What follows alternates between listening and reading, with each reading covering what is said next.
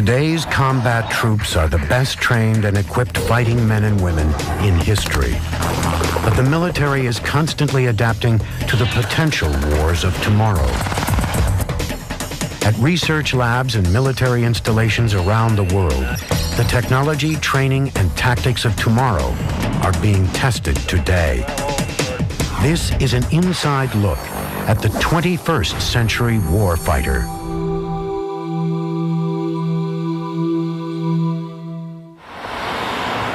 At a remote base in southern Germany, this unit is on a 21st century mission to rescue hostages captured at a U.S. embassy. Get down, get down, get down, play more! Stay down, stay down, keep your head down.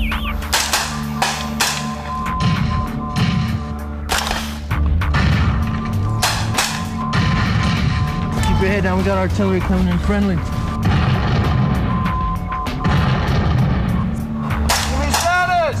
Heavens up!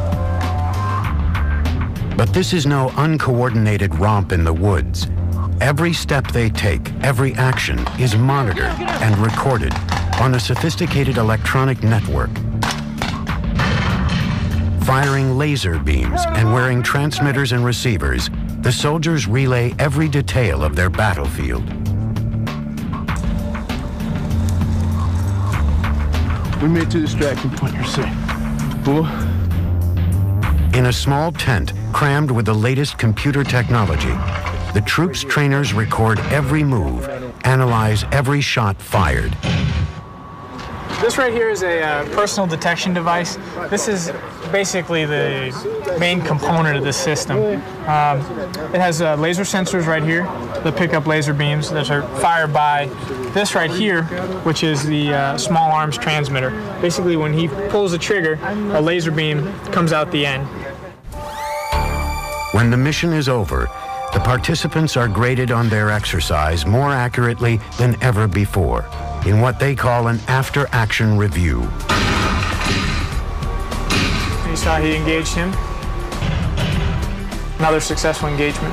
And you can see by the, the X's on each of the, the icons that all three of the target kits have been successfully engaged.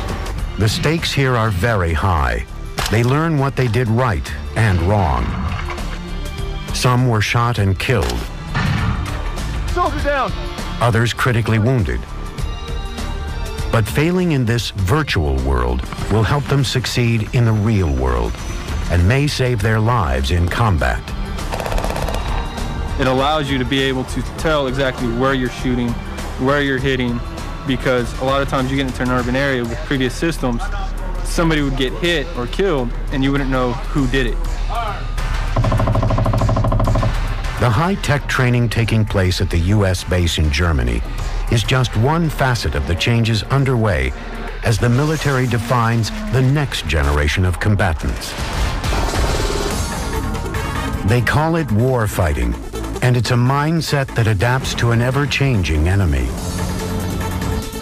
Men such as the chief army scientist, the Army's best trainers, and leaders of important military bases introduce and explain the changes as tomorrow's troops lock and load for the future.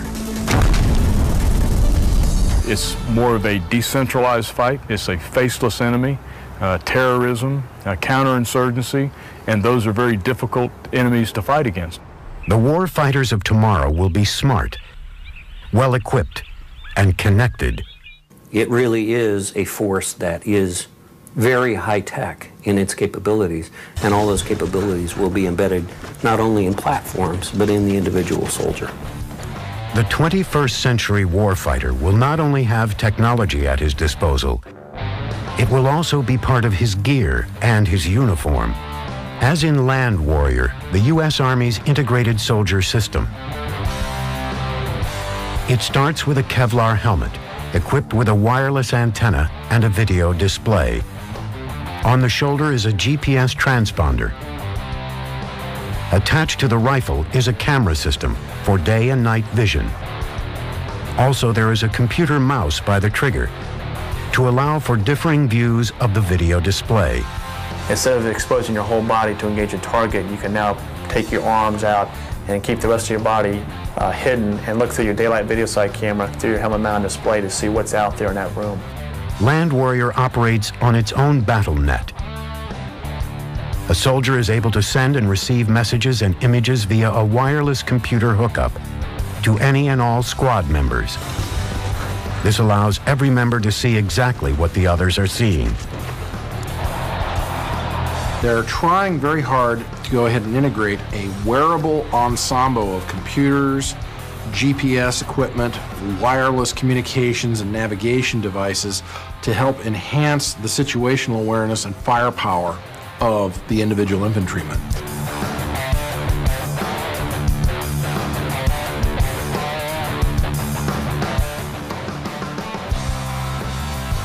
To reach these goals, the armed forces have reorganized their infrastructure, upgrading critical training centers to go with the new technology. Those training centers have revolutionized the way we as an Army train uh, soldiers, leaders, and forces for operations uh, around the world. It really is a different way of thinking about how you conduct the fight from the way we've done it in the past. This revolution includes a new battle space, virtual reality.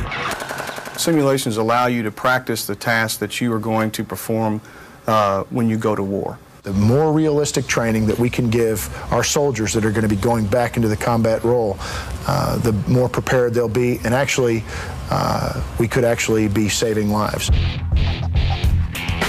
One of the most advanced simulations is the Firearms Training System, FATS for short.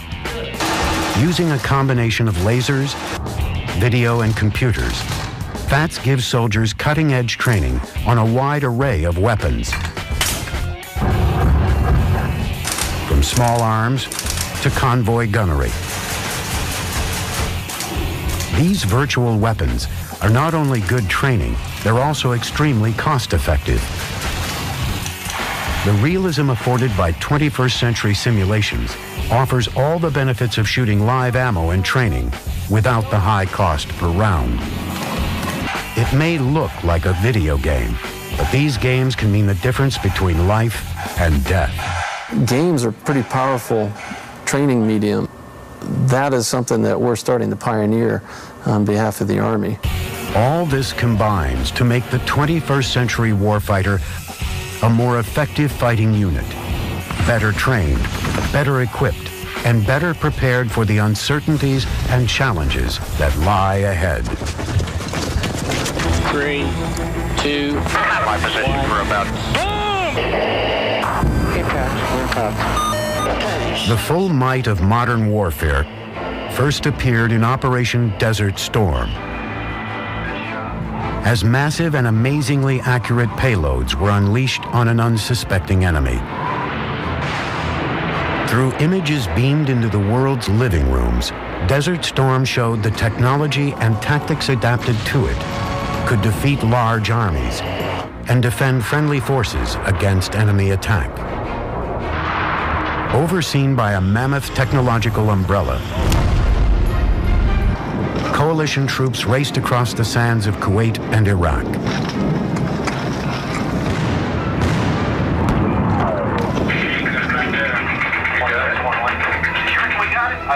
Operation Desert Storm became a proving ground for new armaments. It was swift and decisive, but as methodical as the coalition advance appeared, it may not have been so efficient without aid from a technology that is now a household name. Global Positioning System, or GPS, has proven to be a crucial component of a modern military. 24 GPS satellites far above Earth's atmosphere beam down a constant barrage of geographical data to GPS receivers on the ground. This data translates into a specific location on the surface of the globe. The space-based navigation system allows soldiers and commanders to determine their precise location at all times. GPS is now an integral tool for the 21st century warfighter. But its perks extend far beyond human soldiers. Using this latest technology, thousands of stockpiled conventional bombs have been upgraded to give them minds of their own. One of the most fearsome weapons to emerge in the war in Afghanistan is known as the JDAM, the Joint Direct Attack Munition. A bolt-on tail assembly contains a GPS guidance system, which receives target coordinates directly from the pilot of a launch aircraft. Once dropped, the bomb knows exactly where they are and where to go, calculating their own trajectory with a range of 15 miles.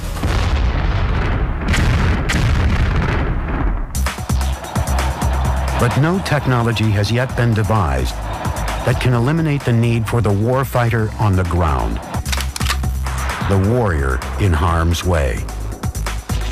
Throughout time, a series of questions have repeatedly bedeviled troops in the fog of war. Where am I? Where are my buddies? Where is the enemy? A great leap forward in providing these answers came with a new system known as Blue Force Tracking. Working through a computer system known as the Tactical Internet, satellite communications successfully maintain Blue Force awareness. Data flows from individual users through satellite comlinks to data fusion centers and back, and via satellite to all commanders on the network. It is a digital view of the troops. This system provides those answers across the battlefront spectrum to grunts on the ground, to their immediate commanders, and even up the chain to generals and the Pentagon itself. Using the latest up-to-date data available, it can be started at the very beginning stages in the planning of an operation. Sir, your mission data is loaded and your graphics is up. Oh, thanks, Warden. Oh. Sergeant Finn, let me show you where I need you to recon. Cool, sir. Need you to push out some OPs to cover our flank. It gives commanders near real-time information on what is happening on the front line. While Blue Force uses GPS satellites and high technology to quickly and efficiently distribute vital information, much of that data must also be gathered in the first place. Where, for example, is the enemy? Enter the Predator. A plane that could fly low and close to enemy positions without risking the lives of pilots and provide the intelligence it gathered immediately without delays. The Predator is a long-range unmanned aircraft that carries cameras and a satellite link. It can send real-time video to commanders anywhere in the world. At any moment, day or night, a Predator is probably flying, sending the information it gathers back to the Pentagon. As simple as it looks, it is no toy. Predator's a, a marvel. It's, a, it's an amazing aircraft. It's uh, not a toy. It's uh, not a remote control uh, toy as some people think. We offer real-time video uh, down to the troop commanders. That's never been done before. Besides being the eyes of the warrior, we are an information system that he has never had access to before that allows him to make better decisions. The Predator also has become part of the lexicon in Afghanistan and Iraq. As popular as they are with the troops, however, they are limited in number. So smaller, perhaps more primitive versions are now being used by Special Forces A teams and some Marine units. One of the latest is known as Dragon Eye. Dragon Eye is a five and a half pound backpackable unmanned air vehicle designed to be able to fit into a Marine's pack. It enables a company commander or platoon commander to take this capability with them into the fight so that they can use it to look over the next hill or over the next building. The operators pull the Dragon Eye out of their backpack, they assemble it, it's made in five pieces. We have two cameras on the aircraft, one that looks forward and one that looks to the side what we send back to the ground control station is 30 frames per second NTSC video uh, in real time. Three, two, one. Even this small aircraft gives the warfighter an unparalleled view of his terrain and surrounding danger.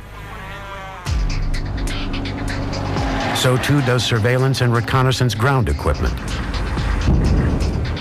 Known more affectionately by its acronym, SARGE.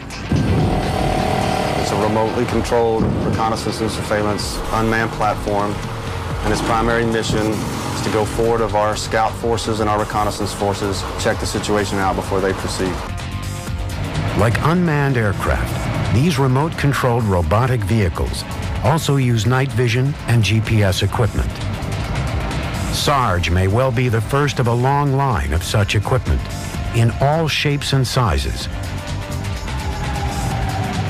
such as Sarge's nephew, Dragon Runner.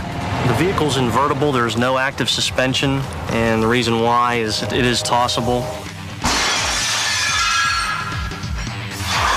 Toss it into a window or onto a rooftop. Front of the vehicle, you have in the center the low light wide angle video camera, infrared LED for night use. You have the motion sensor and a directional microphone so the Marine can listen remotely. It also has motion sensors on uh, both sides. It's used for interior exploration or reconnaissance uh, of buildings. If Marines were inside a building and they needed to get uh, situational awareness of what was outside a building, you could easily throw it from a second story building or window and drive it on away. Dragon Runner can also be used uh, to explore the underside or the undercarriage of vehicles. The vehicle actually drives by a group of people, and I think out of three, only one saw it go by. Whether using miniature robots or giant satellite-based protection systems, the 21st century warfighter has come a long way. But those who train these warriors know best. There's still a long way to go. Armies have fought one another since before recorded history. Young men have been sent into harm's way as generals planned, plotted, and ordered the assaults. For the ground troops, training often amounted to no more than being taught how to use a rifle. For the individual soldier, forcing his way through the mud and the blood, the best arsenal he had consisted of his weapon and his boots. But much has changed. Today's forces are not your grandfather's army. As times have changed, so have the demands to better prepare the average soldier and to better equip him for new types of battles and enemies. For the duration of the Cold War, from the 1950s to the turn of the century, America prepared to fight a massive conventional war, most probably in Europe and most likely against the Soviet Union. But today's and tomorrow's battlefields are far more likely to be in rugged mountains and valleys or the back streets of a distant city. We're not doing large formations, mechanized fights uh, at the Combat Maneuver Training Center because that's not what units will experience when they go into Afghanistan, Iraq, and, and the Balkans. Unlike battles of the past, war today can break out anywhere, anytime. Today we have many threats around the world and it's uncertain where the action might be next year or the year after next and we have to be prepared to move into theater quickly and respond quickly. They now need specialized training, customized to the enemy, his tactics, and the environment in which they will meet. Some of the most critical training for the wars in Iraq and Afghanistan is being conducted at U.S. bases in southern Germany. The training here is especially important because the location is only hours away from where these troops will deploy. For many soldiers, it's their last stop before being sent into a combat zone. As the operations group commander here, Colonel Davis is responsible for all combat maneuver training. As we look into uh, Afghanistan and Iraq, obviously the threats are different. We obviously replicate the insurgent activity that is present in the theater they are training to look for suspicious activity in an urban setting and how to subdue a suspect if needed. Learning to control a crowd in this hostile environment is a critical skill they learn how to deal with the worst of the enemy's new methods. Some of the activities that, that we really focus on here uh, is improvised explosive devices for killing soldiers. We weave in that element within the complex environment of the rotation. So they experience those kinds of activities uh, during the rotation. They do occur with enough repetition that the units can develop tactics, techniques, and procedures to defeat these kinds of threats. Sniper activities within urban areas like the ones we're standing in right here, ambushes uh, going to and from urban centers, and also logistics convoys that uh, these kinds of threats are a daily occurrence in Afghanistan and Iraq. So we have to replicate those kinds of threats in this environment, in the training environment, once the unit's here to train. The wars in Afghanistan and Iraq have taught them how much they must change and what the 21st century warfighter must learn. They keep close tabs on every new development in the war zones so they can get it right. We sent our planners to Afghanistan into the area that they're going to operate so we could get with the units that are down there now, see what right looks like, and then we go through a process of exercise design, exercise development, script writers, that provide the orders and, and those types of things that really provide the structure of the, of the rotation. And our measure of effectiveness of whether or not we're doing our job is when we talk to that unit in Afghanistan and they say that the exact same things they trained on here at the Combat Maneuver Training Center are the things that they're experiencing in Afghanistan and that we, were, we had it right. The new warfighters have a long list of training tools, from traditional firing lines to new computerized simulators that put them virtually in the center of the action they will later face. More and more bases in the Army are being utilized, some with unusual benefits. In the wilds of Wyoming, Camp Guernsey offers mirror images of distant hot spots training space is at a premium. And one of the things that customers come to Camp Guernsey for is, is the, the terrain that uh, we offer. We replicate Afghanistan, uh, northern Iraq, Bosnia. We have a lot of diverse terrain and customers come here because of that. We've got this the simulations building uh, that offers a lot of uh, the latest uh, technologies in, in simulations for individual weapons training. We've got the, uh, the modified record of fire range, which is a computerized uh, pop-up target range for individual weapon qualification. Um, we've got the convoy live fire range that we've recently installed. One of the things we're working on for the future is a, a MOUT site, military operations in urban terrain. Uh, it's a basically a town that soldiers can go in and train uh, in urban combat because that is one of the most dangerous and complex training or real world situations that a soldier has to go through. Uh, certainly, there's no substitute for on the ground training, no substitute for putting real bullets down range. However, the more effective that training can be, the more effective those rounds can be going down range. Uh, the better the soldiers are going to be prepared. Now, how they can accomplish that is by utilizing a virtual training environment. The horizons of this virtual world stretch from small arms ranges Weapon 3, 47 rounds fired, 9 hits, 4 kills. Weapon 4, 60 rounds fired, 1 hit, and 1 kill. To a driver's point of view in a Humvee or a tank. This here is, is supposed to get you ready to that you know what you're doing. And uh, that's what that's what these are designed for. So you're not going into a brand new system and not having any idea what to do. You come here, you train, and uh, they prepare you for war to interaction with artificial intelligence. What happened here? That is a tool. There was an accident, sir. That allows a soldier to act with a set of virtual humans in a complex environment and react as he would normally react, make decisions, and then get feedback from the avatars, that is, the synthetic humans in the, in the environment, uh, responding to his actions, to his decisions. Sergeant, send two squads forward. Sir, that is a bad idea. We shouldn't split our forces.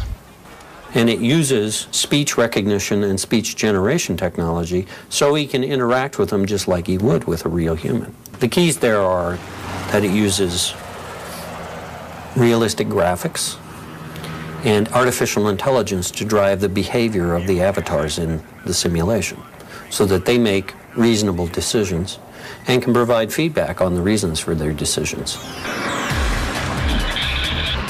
One of the most critical aspects of training for the 21st century warfighter is learning how to deal with attacks on convoys, especially in urban environments where U.S. troops are frequently ambushed and roadside bombs are commonplace. Military trainers hope to turn the tables.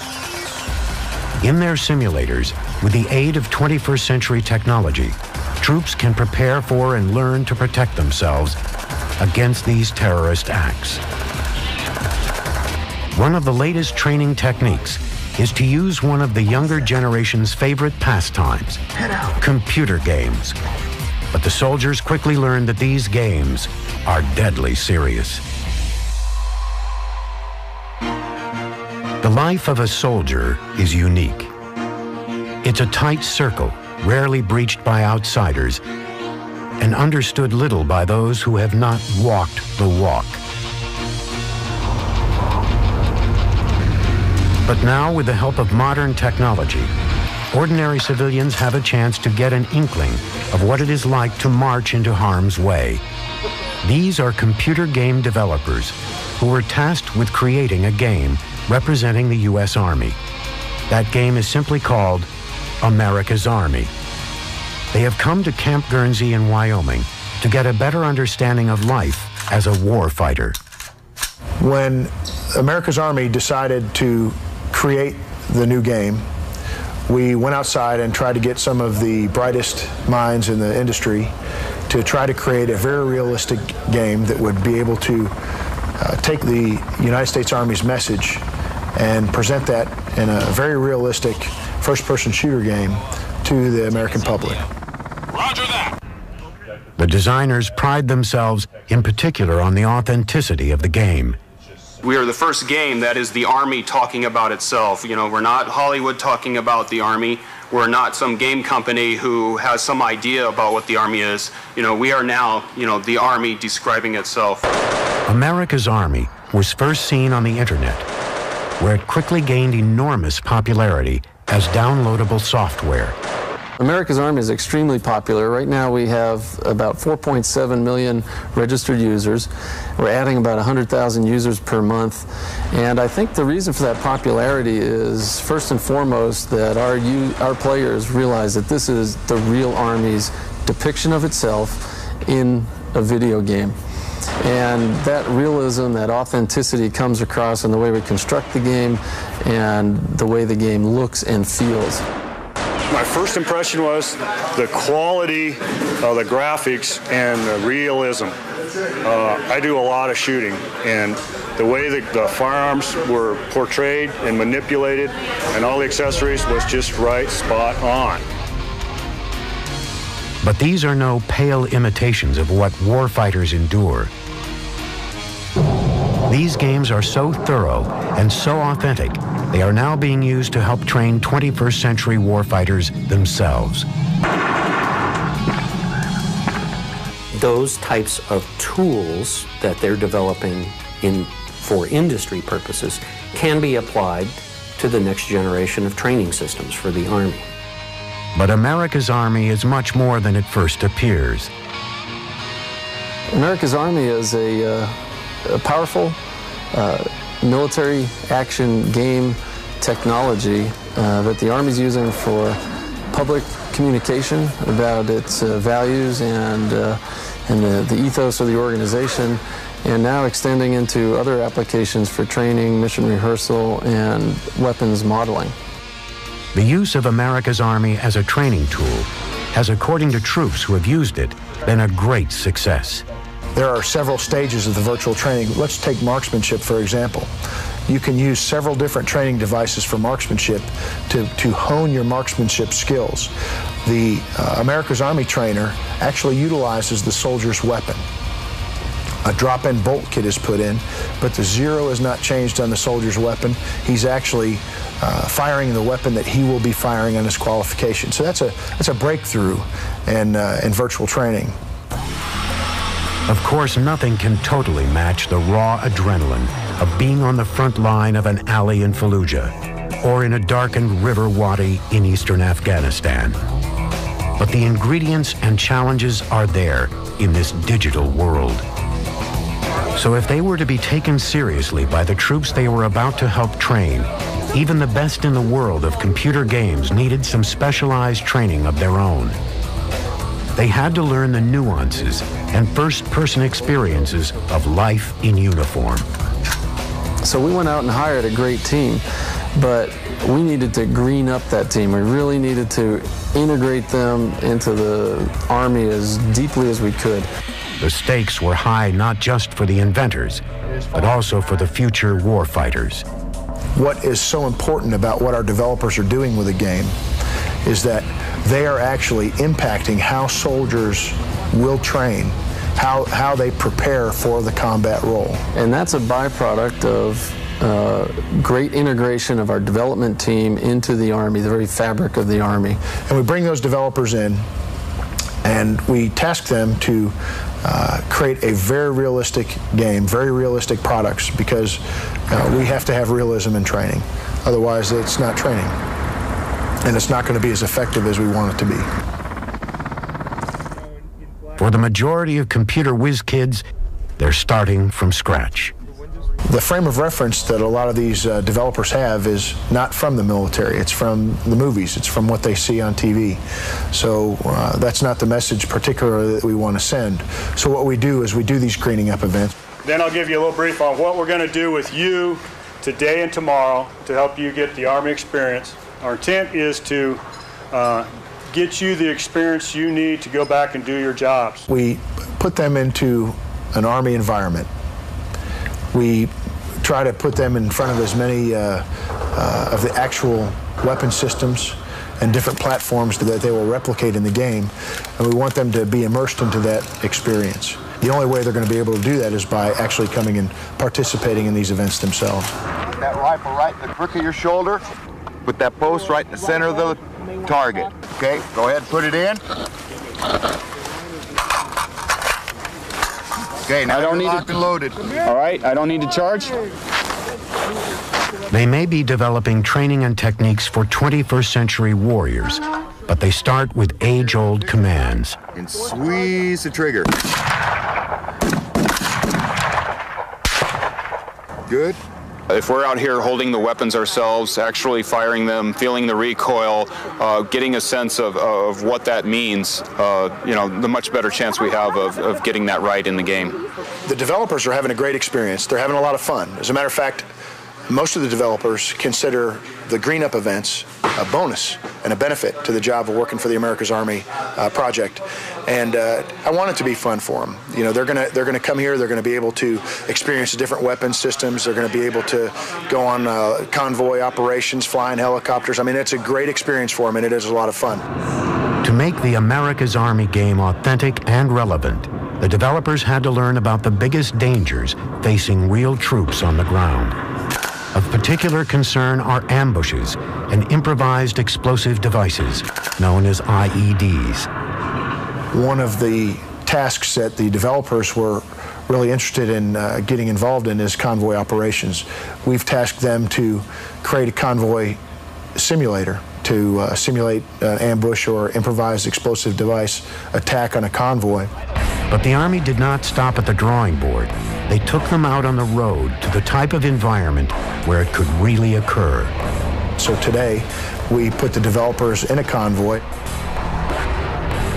It was a seven vehicle convoy that uh, was actually ambushed uh, by some opposing forces. They actually went through the ambush. They returned some fire and, and were able to get out of the kill zone. They actually saw what it was like to feel helpless in that kind of scenario, and uh, they, they got a lot out of it. I'm around the experience of the Army via the game, but I'm never out in the trenches to say, to really get a hands on look, to feel the weapons, fire the weapons, get an idea of what it's like just to go through the day of the Army. Um, yesterday was about a 16 hour day, and I think it's good for us to experience what someone in the Army goes through in that regard. We make the game more realistic by doing these type of things because now we get to experience these things firsthand. We get to see how a weapon works, we get to see how a helicopter flies, we get to see how a convoy runs, and then we get to apply that and, and tweak those values, of course, considering gameplay at the same time. These enthusiastic young inventors are exploring new frontiers. But as daring as their work is, it's only the beginning of what lies ahead. What is now emerging from the military's secret research and development labs. For as long as men have gone to battle, they have sought ways to protect themselves against the enemy and his weapons, from medieval knights to both World War I and World War II, and on to Vietnam. The system has not yet been invented that would not only save lives, but also guard against crippling wounds, until now. The body armor used currently by U.S. forces has proven invaluable, but it's still heavy and cumbersome and often slows down a warrior on the move we have in the field today something called the interceptor body armor. It's a set, it's a vest with a set of plates that you stick in it that actually protect the soldier against gunfire. And there are many examples of soldiers' lives being saved from bullets and fragments due to the presence of that body armor. But a new type of armor is on the drawing boards for the 21st century warfighter. Working at the Massachusetts Institute of Technology, scientists are using a new frontier known as nanotechnology to create new lightweight body armor. We have the folks at MIT in the Institute for Soldier Nanotechnology who are exploring new types of materials, uh, designing them from the ground up so you'd take something that'd be normally as flexible as this coat, and if it was struck by a bullet, would instantly become as hard as armor and deflect a fragment. But the research doesn't stop here. Well, the Army's uh, really put a, a, good challenge out, and it's to protect the individual dismounted infantry soldier and uh, to protect from uh, ballistic, uh, chemical, biological, to enhance his survivability. To do that, scientists are developing an entire battle suit that not only protects the soldier, but can also detect and diagnose injuries and then apply life-saving measures automatically. As hopeful as it all sounds, however, it could be years before such protection makes it out of the research lab. Nonetheless, research continues on this front and a multitude of other projects. At Auburn University in Alabama, scientists have been working for several years on developing what they call a smart bullet.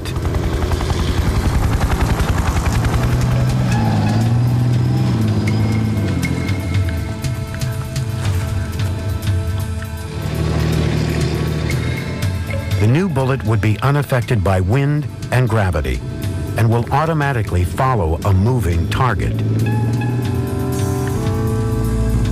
It will allow an infantryman to identify a target with a laser beam, and the bullet will hone in on the reflection.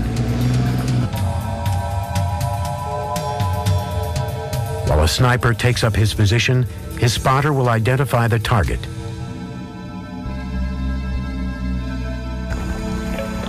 Once the target is chosen, there is no way it can escape. Using tiny built-in electronic seekers, the nose of the bullet moves independent of its main body. The smartest parts of the bullet are called actuators. They are what steer the bullet to its destination. They work very much like human muscle tissues. Uh, one will contract, the other will expand. And very much like in your forearm, your bicep will contract and your tricep will expand, and it'll rotate my elbow around my forearm. Same thing happens in the guided bullet. Uh, one electric element will expand, the other will contract and rotate the nose around a pivot to follow the target.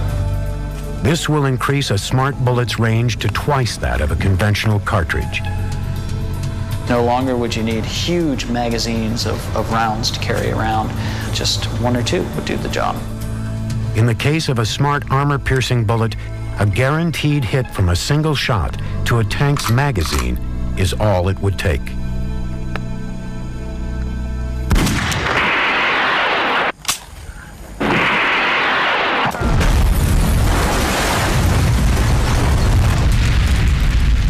And the technological revolution continues. Edwards Air Force Base. It is the home of the Air Force's Flight Testing Center, where they have long pushed the limits of fighter technology. Centered on a huge dried up lake, this is where virtually every experimental U.S. plane first flies. Powerful and increasingly compact computers, along with new propulsion technology, are leading to greater and greater advances in unmanned fighter design. This is the X-36, the next step on the road to a pilotless fighter plane, flown by a virtual pilot. We created a virtual cockpit. Uh, the virtual cockpit has a uh, flight uh, quality uh, control stick with uh, damping and, and uh, force feel in it. we have throttle and all have feel identical to what you'd have in a real manned airplane. The virtual pilot on the ground uses a television camera. Whatever the X-36 sees, I see on that monitor. Everything that you'd need in a real flying airplane.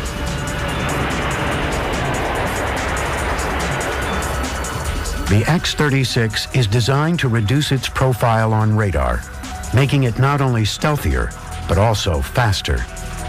Usually in the old days, when you had to do something to reduce the signature, there was a penalty involved with it, and there was a lot of trade-offs. But as we got into taking the tails off the airplane, we also found out there were a couple other benefits. We found out that we could do, reduce the drag and reduce the weight of the airplane. So it came out to be a real payoff.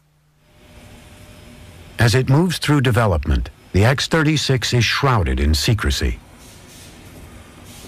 The special nozzle that we uh, co-developed with McDonnell Douglas is one of the more classified elements of the program. It uh, is a very elegant, simple design, yet it provides very high rates of actuation and a very large amount of gas angle deflection, which all uh, adds up to a very effective thrust vectoring system. And beyond that, we really can't say much more about it. Faster and more agile UAVs are not the only objective. Some research is even moving towards small insect-like flying machines. Very small unmanned air vehicles, what's been called micro unmanned air vehicles. Uh, there's been sort of the standard joke is if it's micro, it by definition is unmanned. You can't sort of have both. It has to do with what's called the micro UAV, uh, the extremely small uh, unmanned airplane that has a characteristic dimension on the order of 15 centimeters or 6 inches. Some of these are just little gliders. They look like kids' toys. Some of them are powered with motors. Uh, basically, we're trying different concepts right now to see what makes sense from the aerodynamics and structure standpoint. Later on, we'll be integrating actual sensors, small cameras, small listening devices, other things on here that make them a useful flyer level. A paradigm shift occurs where it might make more sense now to try and create air vehicles that mimic uh, what we find in creation, uh, things with flapping wings or things like dragonflies with uh, fixed wings that vibrate rapidly. And so microflyers very well may take that form. It may seem like science fiction, but plans are underway for the uses of such tiny machines. Various concepts have been put forward uh, for tiny air vehicles that could act perhaps as a fly on the wall and used in covert operations that would fly into a building. This would be unmanned aerial vehicles that uh, grow smaller and smaller to approach the size of insects affix themselves to a ceiling or a wall of an area that they have been drawn to by uh, pheromones given off by human beings, perhaps. With high technology making quantum leaps at every turn, the question must be asked, could the day come when machinery takes over as a future warfighter? Perhaps in the form of robots. Identify yourself. Robots that can, for example, see and hear. They come in all shapes and sizes. Some look a lot like battle tanks. Others like farm machinery. Even like trash compactors. But they are all robots. In a future war, they could all be smart enough to fight each other or us. At the Space and Naval Warfare Center in San Diego, design engineers have wired up robotic eyes that can spot a moving human and decide that it is different to branches of a tree waving in the breeze. It is still being perfected. You basically have to walk before you run. There's a lot of issues that we have not yet solved that I think need to be solved first before we start making these things even smarter. Already, there are robots that can pack a paintball gun and engage in battle with other robots. These demonstrations are staged to make the point that a GI robot might eventually be possible. The real thing is, of course, more than a decade away. The primary purpose in robotics is to take the soldier out of harm's way. And in, in saying that, I mean areas of um, hazardous conditions, which might be a biological condition or a chemical or nuclear condition. So we're looking at robotic applications for those things and also for wartime weapons carrying capabilities. Creating a weapon with enough brains to be a true warfighter will be a formidable challenge. Sophisticated tools, some beyond imagination a few years ago, are being implemented for the 21st century warfighter. The new generation of warriors will have the newest generation of computers and equipment at their service. And I see simulations growing to a point where sometime in the future, uh, these simulations will be embedded in the command and control systems that we currently have, and that we'll be able to train as we fight, while we're fighting, before, during, and after the fight, um, in a very high degree of fidelity. It's the soldier that's the most important thing in this, in this day and age and in this conflict. It's not the M1 tank and it's not the Bradley or the Stryker fighting vehicle or the Apache helicopter. It's the soldier. And everything that we do needs to enable the soldier to conduct his mission, gain intelligence, paint the right picture so that leaders can make decisions.